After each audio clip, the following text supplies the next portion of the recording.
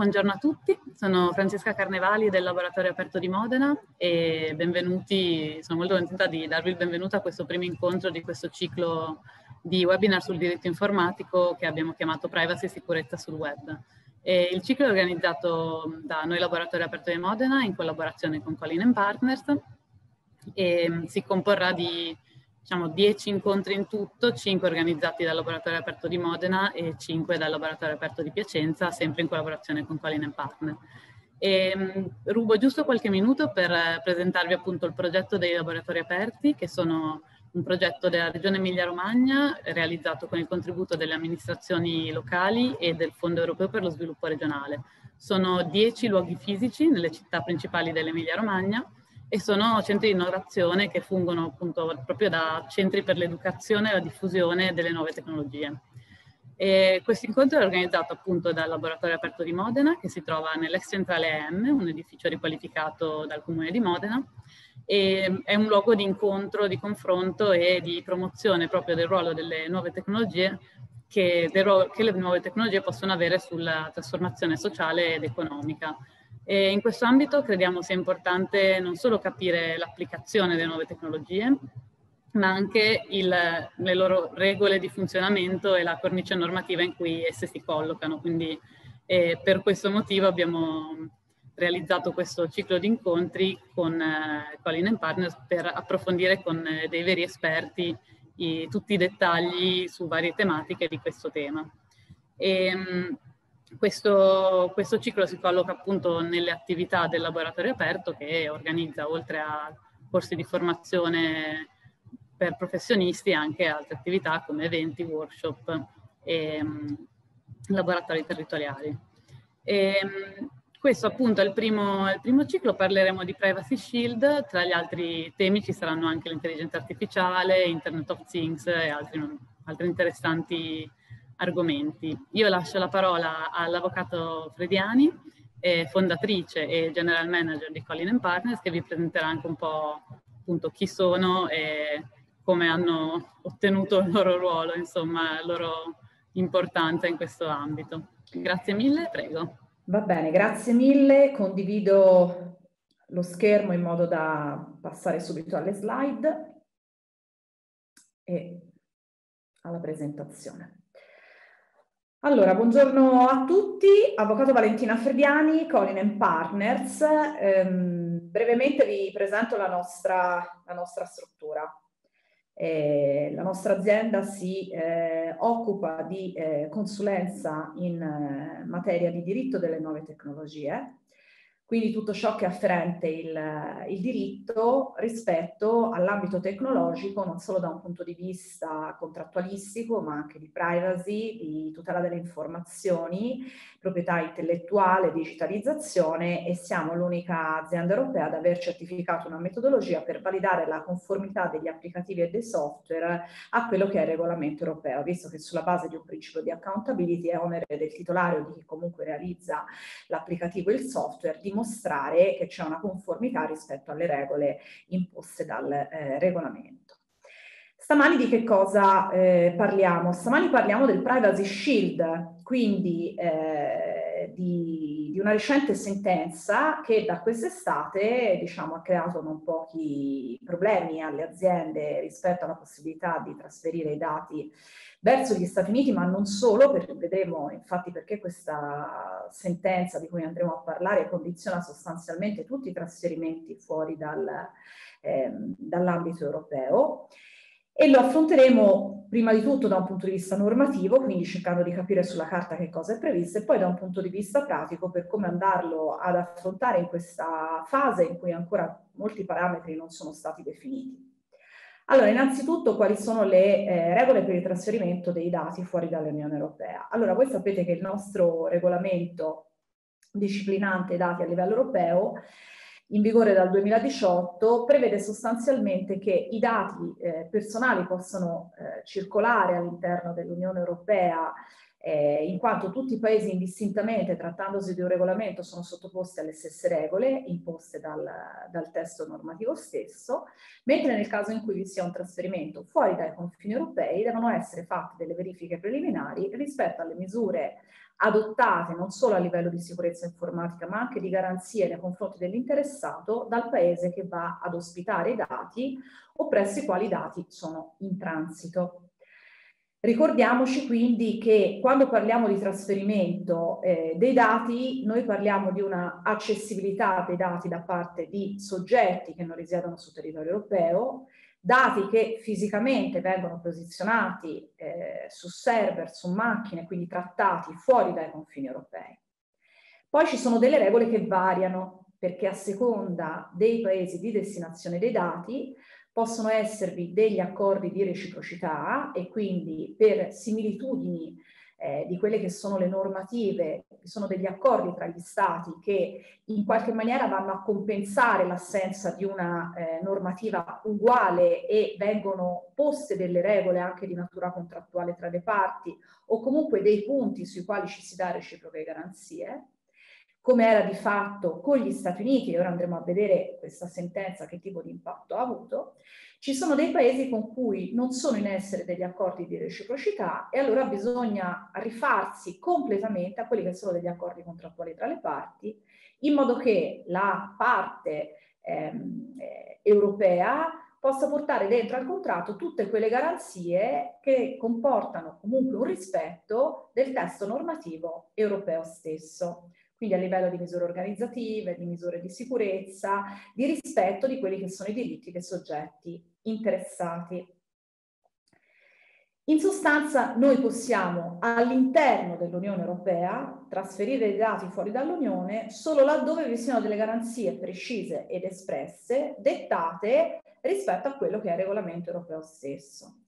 Quando parliamo di trasferimento non pensiamo soltanto a un trasferimento definitivo di un dato da un punto di vista di collocazione fisica, perché ci possono essere anche dei dati in transito a livello di backup, a livello di servizi, anche operazioni momentanee nel momento in cui i dati vengono trasferiti fuori dal, eh,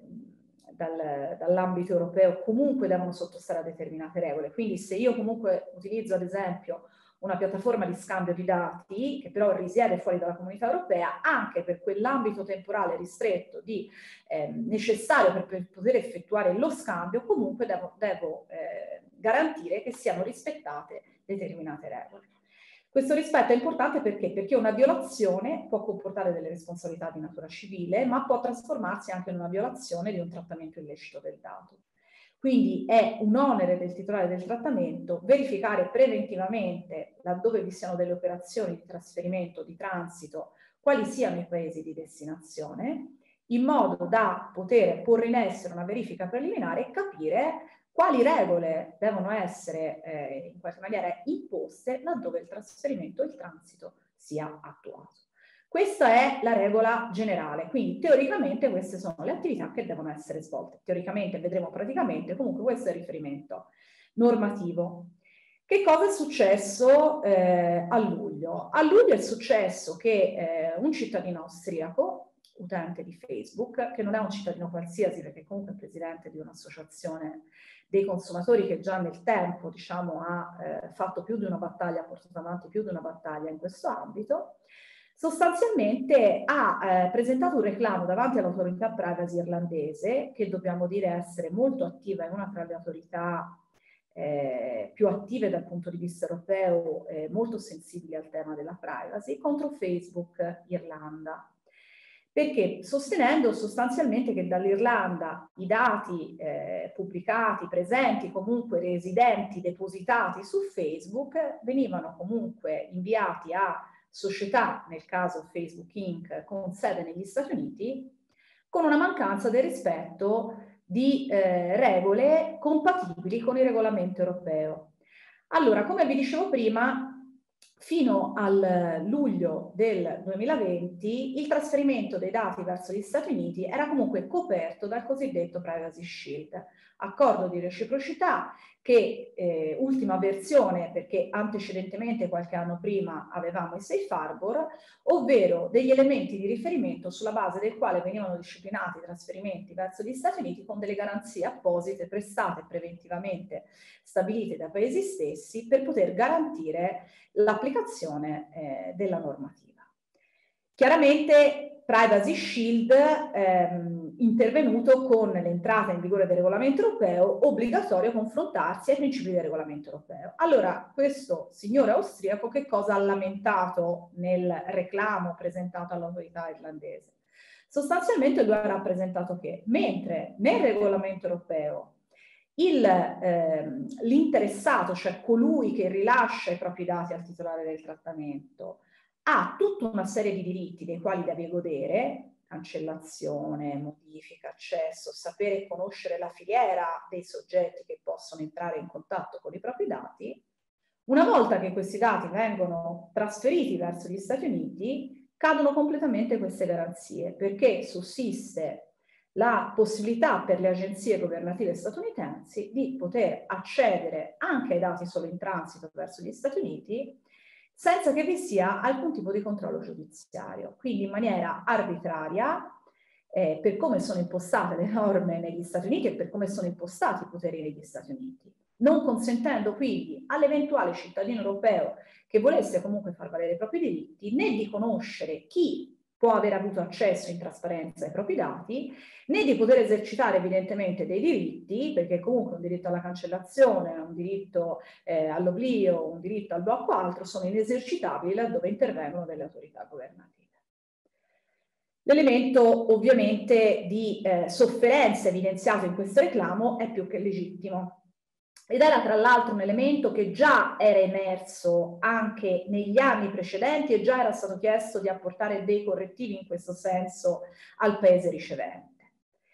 E eh, questa sentenza ha stabilito che effettivamente vi è una violazione di quelli che sono i principi del regolamento europeo nel momento in cui si trasferisce verso un paese, che nel caso di specie sono gli Stati Uniti, dei dati senza che vi possano essere questa trasparenza e esercitabilità dei diritti da parte dei cittadini europei. A luglio 2020, in sostanza con la sentenza emessa dalla Corte di Giustizia eh, europea, è ritenuto sussistente fino a quel momento nel trasferimento dei dati verso l'USA. E chiaramente questo ha aperto una crepa abnorme nei rapporti eh, verso eh, gli Stati Uniti, ma non solo, perché ha rievidenziato un principio sulla base del quale io, eh, titolare europeo, che trasferisco dei dati verso paesi extraeuropei, se non ho a priori delle garanzie con una identificabilità dell'esercizio degli stessi diritti che il cittadino europeo potrebbe comunque far valere in Europa, non posso effettuare il trasferimento. Quindi noi parliamo di una validità dei privacy shield e ci concentriamo in questo momento su questo principio, ma va da sé che se penso ad altri paesi, potrei pensare alla Cina, meno che mai probabilmente ho la possibilità di capire e tracciare quali esercizi siano esercitabili ed effettivamente se vi sia una trasparenza su quei soggetti anche di natura governativa che possono accedere ai miei dati. Quindi è logico che questa è una sentenza che apre, ehm, rende molto frustrante eh, l'efficacia di un regolamento europeo laddove vi è un'evidenza che fuori dai confini questi diritti non siano rispettati. Ora vediamolo Ovviamente da un punto di vista delle conseguenze. Perché? Perché nell'andare a dichiarare questo la Corte di Giustizia europea, che cosa ha posto sul tavolo per le aziende e gli enti pubblici a livello europeo? Fermo restando che il trasferimento può essere eseguito laddove comunque vi siano degli obblighi ovviamente normativi e laddove comunque vi sia un consenso dell'interessato. Eh, in sostanza le aziende europee si sono trovate per dover rispettare questa normativa, a dover interrompere qualsiasi flusso verso paesi non garantisti. Questo sia da un punto di vista dei rapporti ehm, business to business, quindi anche trasferimenti di dati tra aziende, laddove comunque vi è un trasferimento del dato personale, che potrebbe essere un dato del dipendente, un dato identificativo di un cliente, anche se posizionato all'interno di un rapporto business to business. La non fruibilità di servizi con trasferimento dei dati verso gli Stati Uniti. Ad esempio, noi abbiamo avuto clienti che hanno interrotto servizi erogati tramite piattaforma anche per la formazione, perché comunque l'iscrizione avveniva su piattaforme eh, statunitensi con l'invio dell'elenco di tutti i partecipanti, nominativi dei partecipanti verso gli Stati Uniti, piuttosto che appunto ehm, eh, scambi di dati e di informazioni su piattaforme non europee senza che venissero prestate determinate garanzie. E da nulla vale, e questo è bene eh, ancora una volta eh, evidenziarlo perché ehm, ho sentito nel tempo anche alcuni giuristi dire vabbè però se contrattualmente andiamo a stabilire che certe garanzie vengono prestate allora si può superare anche questa sentenza. In realtà non è vero perché le parti contrattualmente possono stabilire quello che vogliono ma poi se di fatto delle autorità governative possono eh, indistintamente accedere a quelle informazioni e a quei dati è ovvio che la volontà contrattuale è completamente nulla quindi non c'è un'efficacia sostanziale di poter superare eh, quella eh, accessibilità flessibilità da parte delle autorità governative, perché non è un qualcosa che sia nel potere delle parti eh, contrattuali. Quindi avere anche delle clausole contrattuali efficaci comunque non darebbe una tutela sostanziale alle informazioni. Tradotto, finché non verrà messo mano a delle normative statunitensi che diano queste garanzie dal punto di vista europeo, si pongono comunque dei problemi. Chiaramente noi stamani andremo a vedere anche quali possono essere delle soluzioni, delle proposizioni che possono essere fatte per superare questa problematica da un punto di vista normativo e di responsabilità dei soggetti che questo trasferimento ovviamente vogliono andarlo a porre in essere. Allora, in questo stadio per cui abbiamo una sentenza la quale ha stabilito la non legittimità di trasferimento dei dati verso gli Stati Uniti, laddove manchino delle garanzie e che chiaramente ha aperto comunque un, eh, indiscutibilmente eh, una impossibilità di trasferimento verso tutti quegli altri paesi verso, nei quali non vi siano delle garanzie del rispetto dei diritti degli interessati da un punto di vista di esercitabilità e di trasparenza della filiera dei soggetti che possono accedervi. Quindi quali sono le conseguenze? Allora, intanto tutti quei trasferimenti che nel tempo sono stati basati eh, sull'adesione del fornitore statunitense al Privacy Shield sono comunque trasferimenti che non sono tutelati sufficientemente. Vi ricordo, Privacy Shield, accordo di reciprocità fornitore statunitense fino a luglio 2020, aderendo ai principi di reciprocità stabiliti appunto dai, dai due paesi, ehm, eh, sostanzialmente garantiva di dare tutta una serie di tutela di livello paritetico a quella prevista dal regolamento europeo. Chiaramente anche trasferimenti basati su clausole contrattuali, anche standard, non possono più essere considerati come in grado di offrire delle garanzie sufficienti perché eh, a prescindere che si applichino poi queste garanzie, se poi le autorità governative possono accedere, evidentemente non sono garanzie reali. Il terzo punto è quello relativo alle binding corporate rules, cioè il regolamento europeo prevede, ma lo prevedeva già anche la direttiva alla quale avevamo aderito, quindi con la normativa con il decreto 196, che all'interno dei gruppi potessero essere stabilite delle regole a fattor comune, anche se le aziende appartenenti al gruppo fossero state dislocate non solo a livello europeo ma anche extraeuropeo, sulla base delle quali stabiliti delle regole compatibili e nel totale rispetto del regolamento europeo anche per le aziende aderenti fuori dal contesto europeo, i dati sarebbero potuti essere trasferiti. Le bande corporate rule hanno avuto un ruolo essenziale nei gruppi fino a luglio 2020 perché? Perché stabiliti dei parametri rispetto del regolamento europeo hanno consentito il trasferimento dei dati dei dipendenti, dei fornitori, la possibilità di andare a condividere anche progettualmente delle informazioni dei dati personali a livello extraeuropeo perché comunque tutti appartenenti alla stessa grande famiglia, appunto il gruppo, eh, con delle regole comunque eh, in grado di far rispettare quelli che potevano essere diritti esercitabili da ogni ogni singolo soggetto. Oggi neanche le binding corporate rules sono valide per lo stesso motivo per cui non si può ritenere valida la clausola contrattuale standard inserita a tutela dei dati del cittadino europeo, perché come rispetto al contratto possono accedere le autorità governative a quelle informazioni senza che probabilmente nemmeno se ne possano accorgere eventualmente le aziende interessate, lo stesso all'interno delle binding corporate rule, perché se io sono l'azienda statunitense, che sia la controllante verso il paese europeo, o sia semplicemente una controllata dal paese europeo, ma presso di me risiedono dei dati di cittadini europei che possono essere appunto dati dei dipendenti perché operativamente distaccati o perché comunque vengono fatte delle azioni a livello della sede statunitense, piuttosto che una condivisione di dati ad esempio per finalità di marketing da parte degli Stati Uniti rispetto a quelli che sono i clienti finali ehm, eh, collocati a livello europeo, non sono più coperti dalle Warning Corporate quindi qualsiasi trasferimento risulta illegittimo, non può essere legittimamente effettuato. Come potete capire, l'impatto non è banale. Eh, qualsiasi azienda oggi, piccola o grande che sia, ha rapporti con gli Stati Uniti, banalmente per piattaforme appunto di eh, condivisione delle informazioni di scambio, magari perché vengono acquisiti dei software, dei servizi che riguardano anche l'invio di newsletter, a livello di marketing, a livello di backup, di recupero dei dati, perché comunque nel cloud alcuni servizi sono previste delle esternalizzazioni, sono previsti comunque delle allocazioni dei dati fuori dai confini europei. Ebbene, che cosa è successo? Abbiamo avuto un periodo di ehm, blocco totale da un punto di vista di assenza di una presa di posizione normativa e, e, le aziende, qualsiasi titolare del trattamento, aziende ma anche pubbliche amministrazioni, insomma trattiamo principalmente delle aziende per gli ovvi motivi a livello massivo di trasferimento dei dati,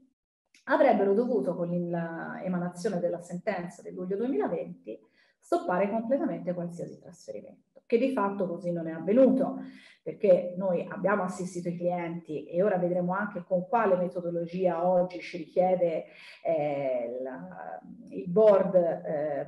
europeo che ha emanato comunque nel frattempo una raccomandazione importantissima, le regole da seguire, ma dal punto di vista pratico teoricamente si sarebbero dovuti interrompere qualsiasi trasferimento verso gli Stati Uniti e verso altri paesi extraeuropei, ma da un punto di vista pratico e applicativo ciò avrebbe inficiato delle problematiche di natura di servizi e quindi di efficacia magari anche della funzionalità delle attività delle aziende stesse, avrebbe comunque provocato delle conseguenze da un punto di vista contrattuale perché comunque ci sono degli impegni ovviamente nei confronti dei soggetti verso i quali magari determinati dati venivano trasferiti per ottemperare poi una prestazione dei servizi. Quindi si è creato un momento di caos totale. Che cosa è successo? È intervenuta eh, in autunno la raccomandazione 1 del 2020. Ehm, che cosa ci dice? Ci dice in qualche maniera porta e supporta le aziende in un iter logico di valutazione di quelli che possono essere gli step per andare a comprendere effic- effettivamente quali trasferimenti possano essere effettuati o meno o quali misure possono essere adottate laddove comunque il trasferimento in chiaro dei dati non potesse essere posto in essere. Allora, intanto ci dobbiamo porre un problema ovviamente, eh, vedete anche nelle slide, relativo non solo a un trasferimento diretto, ma anche un trasferimento dei dati, una disponibilità dei dati verso un nostro fornitore europeo il quale però si avvale di un subfornitore, quindi di un subresponsabile extraeuropeo. A tal proposito vi ricordo che c'è un obbligo nel regolamento europeo che impone al nostro fornitore responsabile del trattamento, laddove la responsabilità significa che abbia un dominio, benché limitato, su quelli che sono i dati a livello di sicurezza, gestione, trattamento, di dire in trasparenza chi sono i soggetti subfornitori e quindi subresponsabili che possono in qualche maniera partecipare al trattamento,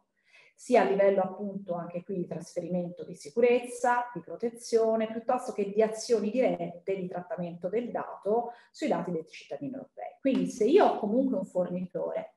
che si trova sul territorio europeo, ma si avvale di subfornitori, vi è primariamente un obbligo da parte del fornitore di dirci chi sono questi subfornitori e dove sono allocati i dati.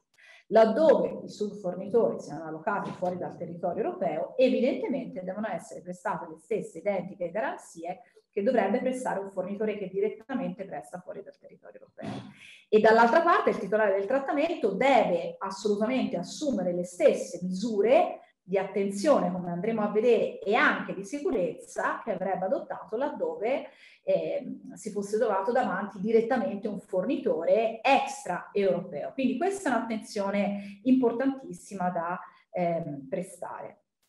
Ricordiamoci che il eh, legislatore richiede anche un monitoraggio periodico di questi trasferimenti quindi teniamo presente che se oggi andiamo a eh, implementare o ragionare comunque su un progetto anche di natura informatica o di acquisizione di un servizio, dobbiamo ragionare se effettivamente c'è un trasferimento dei dati a livello extraeuropeo o meno, perché comunque dovremmo adottare tutta una serie di garanzie. Ma entriamo nella specificità eh, di quelle che possono essere sostanzialmente le eh, misure da andarsi ad adottare. Allora, laddove io non abbia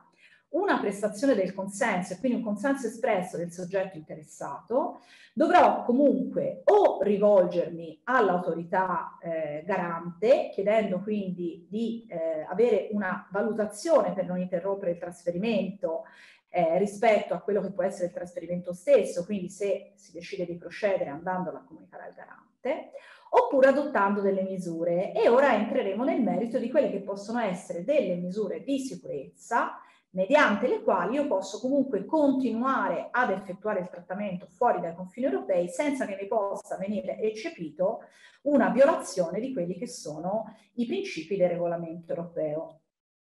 Dicevamo, entriamo nel merito. Allora, la raccomandazione di cui abbiamo accennato è la raccomandazione 1 del 2020 che ci dice, diciamo, ci dà degli step operativi su come andare a eh, valutare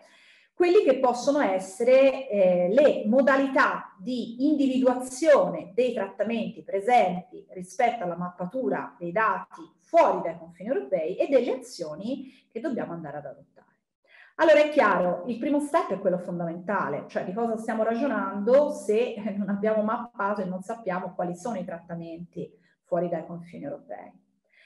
Questo ci serve perché indubbiamente per avere una fotografia anche del rischio eh, rispetto alla titolarità del dato. Eh, da un punto di vista, cioè come legale, vi dovrei dire, vabbè, ma se anche comunque un dato personale è Valentina Frediani che viene trasferito negli Stati Uniti, è già una violazione che viene posta in essere laddove non ci siano le garanzie. Però è anche chiaro che vi è una variabile di rischio se il dato di Valentina Frediani è perché si è iscritta a un webinar che viene tenuto su una piattaforma allocata negli Stati Uniti Diverso il rischio è se il dato sanitario il gusto sessuale di Valentina Frediani viene trasferito negli Stati Uniti. Evidentemente c'è un approccio, una valutazione del rischio molto diversa. Poi sulla carta la violazione è esattamente la stessa, perché il titolare del trattamento non può fare un trasferimento fuori dal confine europeo da questo punto di vista, senza ovviamente un consenso espresso piuttosto che le regole che andremo a vedere. Comunque la mappatura è fondamentale una mappatura che deve anche valutare se effettivamente i dati che vengono, non solo quali dati vengono trasferiti, se c'è questo trasferimento, quali dati vengono trasferiti, ma se quei dati trasferiti è veramente necessario trasferirli. Perché io potrei avere la necessità, e questo succede molto spesso all'interno dei gruppi che hanno adottato le bande in corporate tool, di trasferire effettivamente delle informazioni fuori dai confini europei, ma magari le sto trasferendo in un livello di dettaglio che consente una identificazione dei soggetti interessati, quando in realtà magari fuori dal confine europeo rileva il dato a livello statistico, il dato aggregato, senza la necessità di poter dare una chiave di lettura di appartenenza di quel dato a eh, Mario Rossi, Valentina Frediani o comunque l'identificabilità dell'appartenenza del dato. Quindi questo è un primo step da verificare, tant'è che appunto ci dice la raccomandazione di andare a verificare che i dati trasferiti siano adeguati, pertinenti e limitati a quanto strettamente necessario. Questo tema della necessarietà, nonostante sia un principio che già risiedeva nella normativa 196, è un tema, è un sempreverde, perché è una difficoltà, ehm, una difficoltà oppure una trascuratezza, una superficialità che molto spesso viene utilizzata dalle grandi e dalle piccole aziende, perché si tende a inserire tutti i dati in un calderone, cioè ad avere più dati possibili che poi magari non faranno parte neanche mai di un'analisi o lo faranno parte in maniera eh, relativa, senza razionalizzare quello che può essere effettivamente la necessità esercitabile rispetto ad avere in chiaro ed avere ricollegabile a quel dato. Quindi questa è una prima operazione, mappatura dei eh, trattamenti. Poi vanno verificate le basi del trasferimento, cioè se io ho basato fino ad oggi, e dovrei dire a luglio del 2020, ma diciamo fino ad oggi, il trasferimento sulla base di una decisione di adeguatezza, quindi su un privacy shield, oggi quel privacy shield non mi è più valido. Quindi dovrò andare a verificare se comunque questo trasferimento io lo devo fare sulla base di una normativa preesistente oppure questo trasferimento io non lo posso più fare perché non c'è una normativa specifica che me lo imponga perché comunque non è più valido un privacy shield. Poi dovrò andare a fare la verifica verso lo stato di trasferimento, quindi dovrò valutare, perché questa è una raccomandazione che fa riferimento ai trasferimenti extraeuropei in generale, se il paese di eh, destinazione abbia comunque una legge, una prassi o comunque delle norme che pregiudicano l'efficacia delle garanzie previste dal nostro regolamento europeo. Perché se c'è questo pregiudizio, e molto può fare riferimento proprio al tema dell'esercizio dei diritti, ma anche alla valutazione delle misure di sicurezza, ma anche all'eventuale segnalazione, ad esempio, dei breach, che è un altro tema molto importante e che deve restare di dominio del titolare del trattamento che trasferisce i dati, altrimenti i soggetti interessati saranno sempre esposti in maniera incontrollabile anche a eh, eventuali breach fuori dal territorio europeo, chiaramente devo fare la verifica dello stato di eh, destinazione e valutare anche, vedrete e vedete in queste slide, ricorre spesso un termine della rivalutazione periodica, cioè andare a valutare con una certa periodicità, cadenza, se effettivamente quelle regole che sono state approntate, quella normativa esistente nel momento in cui ho effettuato il trasferimento del dato è ancora vigente periodicamente o se ci sono delle modifiche che possono avere un'incidenza sulle garanzie che devono essere prestate nei confronti dei dati.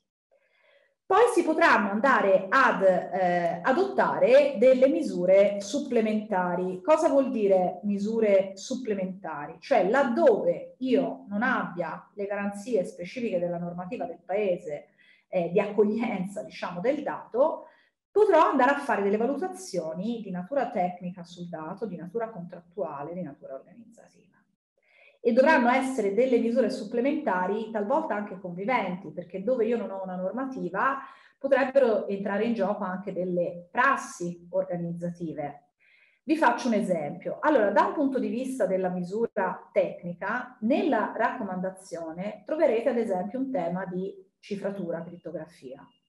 Perché troveremo questo tema? Perché il legislatore ragiona dicendo se comunque viene fatta questa allocazione del dato, verso un paese extraeuropeo che non presti le garanzie previste dal regolamento europeo. Ma poi il dato in chiaro è visualizzabile, quindi leggibile, accessibile soltanto attraverso una chiave crittografica detenuta nel paese europeo e quindi non assolutamente accessibile anche laddove vi sia un'intercettazione, un accesso dell'autorità governativa, io ho di fatto una protezione. E questa protezione, anche se poi il dato fisicamente risiede eh, all'interno di quel paese, è una protezione sufficiente per evitare che quell'autorità governativa venga a conoscenza del dato indebitamente rispetto alle garanzie prestate dal regolamento europeo. Ora, questa è una misura tecnica, è una misura di sicurezza. Ma se questa misura, ad esempio, non è prevista all'interno di un contratto, quindi io non chiedo al mio fornitore di prevederla all'origine del trasferimento del dato, non è prevista a livello organizzativo, perché magari non è previsto che nel caso in cui eh, vi siano ad esempio degli attacchi, dei breach e una pericolosità rispetto alla, a poter andare a leggere in chiaro quei dati, non è prevista una procedura di notifica verso il titolare del paese europeo, va da sé che la misura tecnica da sola potrebbe non essere sufficiente. Quindi si rende necessaria anche una regia da un punto di vista valutativo di quelli che possono essere gli elementi che entrano in gioco rispetto a una protezione che deve essere sostanziale, non formale. Ecco perché dico mh, negli ultimi mesi, ma soprattutto quando è uscita la sentenza, noi abbiamo visto arrivare tantissimi contratti da parte dei clienti. Dove eravamo di più, non eravamo di più, dicendo vabbè però a me la garanzia me la dà il fornitore, a me poi alla fine che mi frega, è lui che me lo garantisce, io sono mallevato da ogni questione, se un domani ci dovesse essere una violazione la colpa è del fornitore, questo non è assolutamente vero. Perché? Perché se io so già a priori che nonostante ciò che è contenuto a livello contrattuale vi siano degli eventi per cui comunque non è nel dominio del fornitore di poterli andare a gestire, io comunque non ho nessuna copertura dal punto di vista della responsabilità. Anzi, io forse ho anche una responsabilità aggravata perché ho messo la, la testa sotto la sabbia. Al contrario, laddove io abbia un coordinamento di quello che è l'approccio globale nel trasferimento del dato, quindi prevedo contrattualmente che vengano adottate delle misure, che quelle misure siano tecnicamente a garanzia, vedi il tema della cifratura, della crittografia, che vi sia la chiave di... Ehm, eh, che permette poi di leggere quei dati cifrati detenuti in Europa e detenuti in una modalità tale per cui vi è un processo, una misura organizzativa per poi andarli a leggere in chiaro, evidentemente io una tutela sostanziale in quel momento la sto raggiungendo. Poi vi sono altre misure ovviamente, eh, bisogna anche dire che ehm, laddove io abbia questa certezza di poter raggiungere una misura sostanziale non dovrò andare a interloquire con l'autorità di controllo, altrimenti mi dovrò rivolgere all'autorità garante in materia di trattamento dati perché evidentemente dovrò capire o dovranno essere fatte delle valutazioni di bilanciamento tra quello che può essere il danno che riceve il dato nel non essere trasferito e quello che può essere la vulnerabilità alla quale viene esposta il dato stesso nel momento in cui abbiamo un trasferimento senza le garanzie apposite del regolamento europeo. Ci aspettiamo ovviamente che eh, in qualche maniera questa raccomandazione poi venga esplosa eh, dal legislatore europeo, perché sono raccomandazioni che di per sé non sono sufficienti per risolvere il problema, per approcciarlo. Dall'altra bisogna dire anche questo. Mm, già nel eh, 2018, quando è uscito il regolamento europeo, io ho partecipato a Washington a quella che era la Convention internazionale degli esperti in materia di privacy. I consulenti americani erano estremamente preoccupati dall'arrivo del regolamento europeo proprio per questa impossibilità di adottare dei principi paritetici eh, a quanto contenuto all'interno del regolamento. E queste non sono delle conseguenze meramente normative, queste sono conseguenze sul business, sulla prestazione dei servizi, sulla ehm, potenzialità di sviluppo delle relazioni e dei rapporti a livello extraeuropeo, tanto che già all'epoca si faceva strada una normativa privacy molto più vicina alla nostra normativa europea a livello californiano, Fu il periodo in cui tra l'altro appunto il fondatore di Facebook si presentò al congresso andando a giustificare determinate azioni sui dati che erano state eh, portate avanti dal, da questo social network che insomma ha scatenato non poche, eh, non poche problematiche in merito a un tema di privacy. Quindi c'era un'attenzione molto alta a quelle che potevano essere effettivamente le conseguenze. Oggi qual è il panorama? Oggi ci si aspetta che gli Stati Uniti comunque vadano verso la direzione di un'adozione di una normativa molto simile. Ma il problema, ad esempio, oggi si pone ancora più accentuato, è chiaro, ora siamo tutti dietro ad un tema di Covid, ma si pone molto più accentuato anche in seno all'Unione Europea. Noi abbiamo avuto con la Brexit l'uscita eh, di un paese con il quale vi sono delle forti relazioni ehm, eh, da un punto di vista di gestione dei dati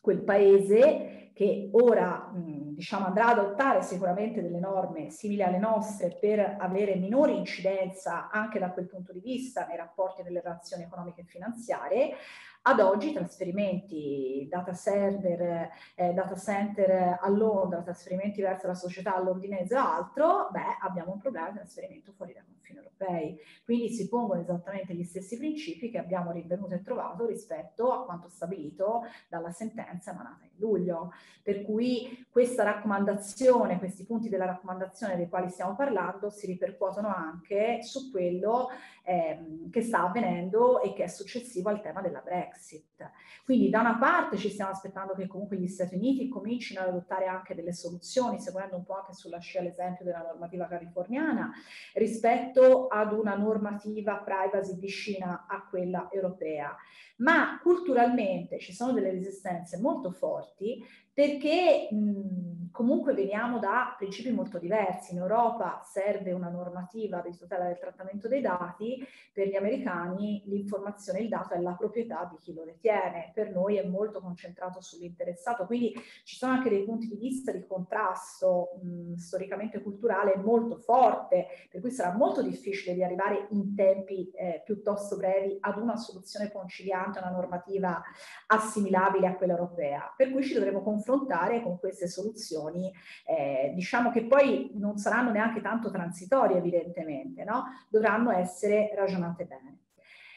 Tanto più che eh, la stessa eh, raccomandazione prevede comunque che vi sia, quello che vi dicevo prima, un tema di ehm, periodicità, perché comunque bisogna in qualche maniera monitorare e tenere sotto controllo quella che può essere un'evoluzione. L'esempio è se io parlo da un punto di vista tecnico dell'adozione di eh, una cifratura, eh, potrei avere anche un'evoluzione rispetto alla solidità di quella modalità di cifratura, di protezione, della misura organizzativa. Quindi non posso avere una staticità totale una volta fatta l'operazione, mi dimentico in qualità del titolare del trattamento che i dati stanno fuori dal confine europeo e mi affido al fatto che nel momento in cui ho fatto una fotografia, ho fatto un trasferimento, ero, ero comunque in una norma. Per cui questa, questo monitoraggio diventa essenziale. Ricordiamo tra l'altro, molto importante, che basandosi il regolamento europeo su un principio di accountability prevede espressamente che vi sia una tracciabilità delle riflessioni e delle azioni poste in essere dal titolare per la tutela del trattamento dei dati. In questo ambito la tracciabilità vuol dire rispetto alla raccomandazione al trasferimento fuori eh, dai confini europei, evidentemente devo avere comunque una storicizzazione di quella mappatura che sono andato a fare, delle scelte che ho operato, oggi potrei avere l'evidenza di aver interrotto dei rapporti contrattuali ed aver acquisito un nuovo fornitore rispetto a quelli presenti prima del luglio 2020, oppure di aver adottato delle misure di cifratura specifiche a protezione di quelli che sono i dati, cioè di avere comunque una storicizzazione, una tracciabilità dei ragionamenti e delle azioni poste in essere,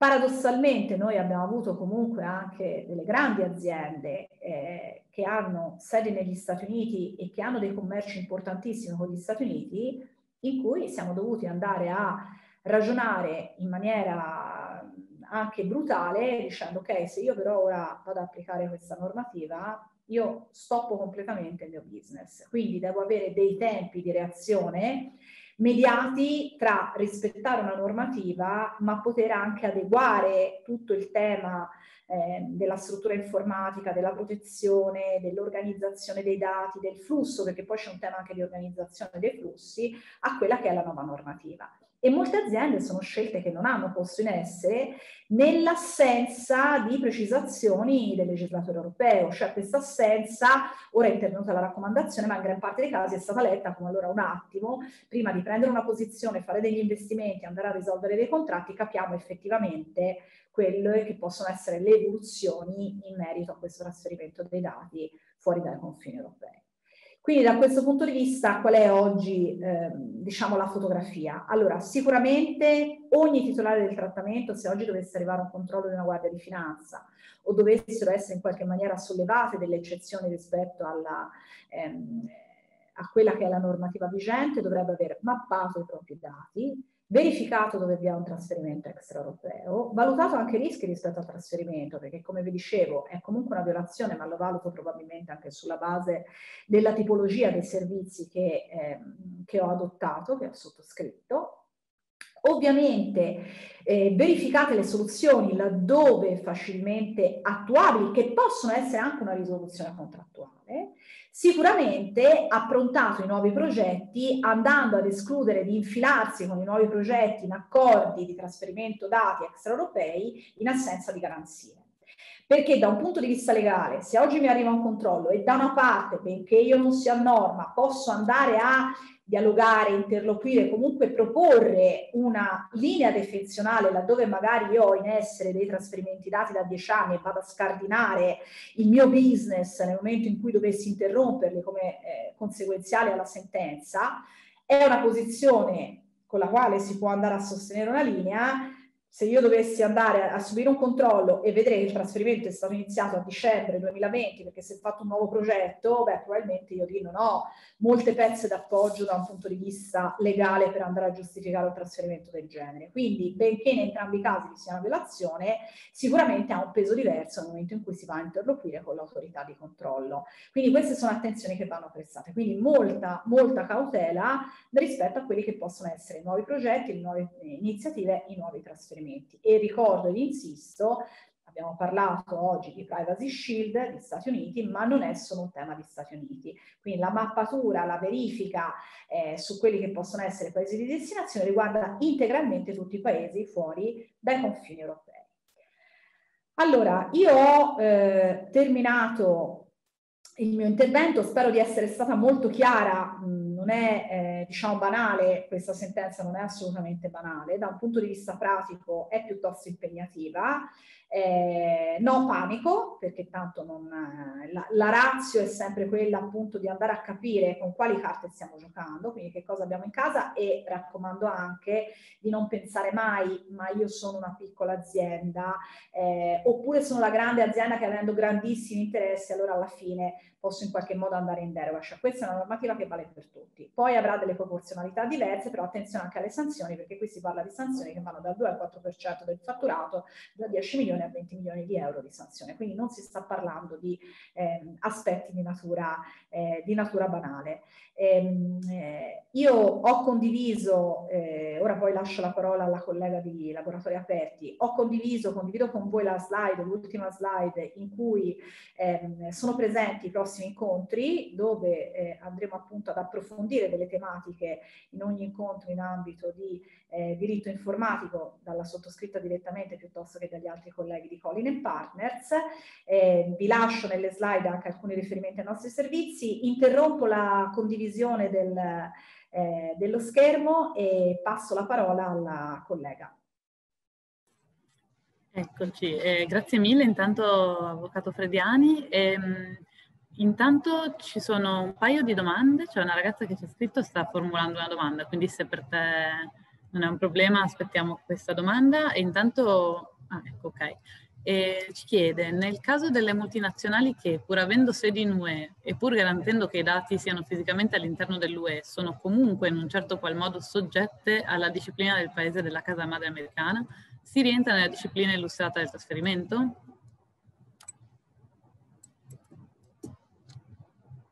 Eh, hai il microfono disattivato? Sì, scusami. Allora, se i dati sono fisicamente all'interno della comunità europea, si applica il regolamento, basta. Cioè, quindi non, eh, la domanda sembra viceversa, cioè se i dati dagli Stati Uniti vengono verso l'Europa. Se i dati dagli Stati Uniti vengono verso l'Europa e la normativa americana non impone regole diverse, eh, io applico la normativa europea. Il nostro problema è quando i dati dall'Europa vanno verso gli Stati Uniti, che è un'altra storia. Ok?